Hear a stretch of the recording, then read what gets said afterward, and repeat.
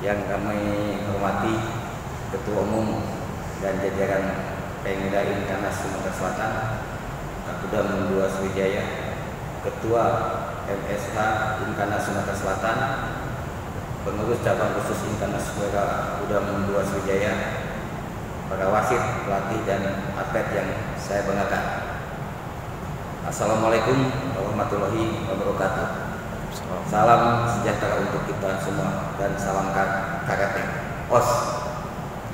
Pertama-tama adalah kita panjatkan puji dan syukur kehadiran Tuhan Yang Maha Esa yang Maha Kuasa karena atas berkat dan ridhonya kita berikan kesehatan dan kekuatan sehingga bisa dipertemukan di tempat ini dalam rangka mengikuti upacara pembukaan kejuaraan cabang khusus Inkanas WRA Udam 2 Sriwijaya ke 1 tahun anggaran tahun 2021. Ke, saya selaku ketua dan seluruh jajaran pengurus cabang khusus Inkanas WRA Udam 2 Sriwijaya menyambut dengan gembira sekaligus memberikan dukungan atas penyelenggaraan kejuaraan cabang khusus Inkanas Wera Kudam 2 Sriwijaya ke-1 yang berlangsung pada tanggal 14 April 2021 kepada seluruh jajaran pengurus cabang khusus Inkanas Wera Kudam 2 Sriwijaya beserta seluruh wasit, pelatih dan atlet peserta kejuaraan kejuaraan cabang khusus saya ucapkan selamat bertanding tentu antusias dan atensi kehadirannya dalam mengikuti event ini adalah semata-mata untuk meningkatkan prestasi sekaligus sebagai wadah membangun tali silaturahmi antara sesama anggota karate cabang khusus Inkanas Pera Kudam 2 Sriwijaya.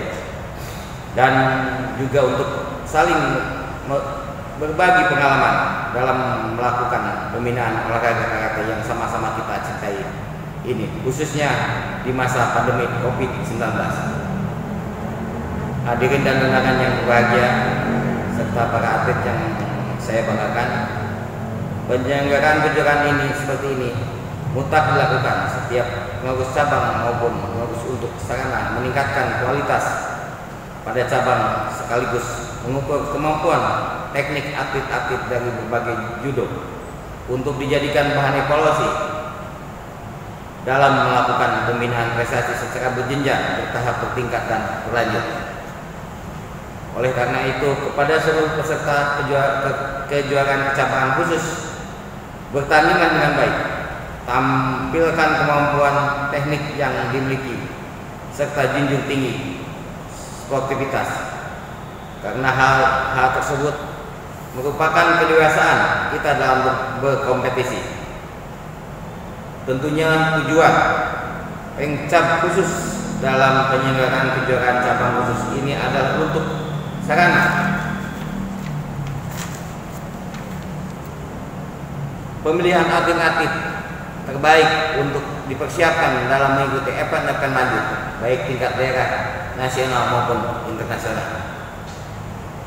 Hadirin dan undangan serta seluruh atlet peserta kejuaraan cabang khusus saya banggakan pada kesempatan yang berbahagia ini saya mengimbau kepada seluruh peserta kejuaraan kecabangan khusus baik atlet, pelatih maupun wasit. Juri laksanakan tugas masing-masing dengan baik dan profesional agar kejuaraan kecabangan khusus ini memiliki bobot yang baik dan teruji. Kepada semua atlet yang bertanding, tunjukkan semua prestasi yang terbaik dan raih prestasi yang gemilang. Hormati keputusan wasit dan juri yang memimpin pertandingan. Kepada seluruh wasit dan juri yang bertugas, pimpinlah pimpin jalannya pertandingan. Lakukan tugas kalian dengan profesional. Karena dengan kepemimpinan yang baik akan menghasilkan kondisi yang baik pula. Jangan lakukan pengambilan keputusan yang tidak sesuai dengan kenyataan dan hati nurani karena ada karena halnya akan mencoreng nama baik kalian serta profesi perwasitan yang bisa memicu protes-protes yang akhirnya bisa menimbulkan hal-hal yang tidak diinginkan. Mengakhiri sambutan ini, kembali saya ucapkan kepada seluruh atlet selamat bertanding. Raihlah prestasi yang baik. Kepada panitia pelaksana saya ucapkan terima kasih dan tentunya apa yang menjadi program utama pengurus kecamatan khusus dalam kiprahnya membangun olahraga karate di lingkungan. Wara Kudam Dua Sriwijaya akan terus akan terus mendukungnya. Mari kita bersatu demi Inkanas emas. Bersatu Inkanas kita maju. Selamat bertanding. Terima kasih. Salam karate. Os. Wassalamualaikum warahmatullahi wabarakatuh.